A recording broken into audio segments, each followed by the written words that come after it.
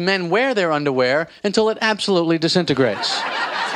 Men hang on to underwear until, until each individual underwear molecule is so strained it can barely retain the properties of a solid. It actually becomes underwear vapor.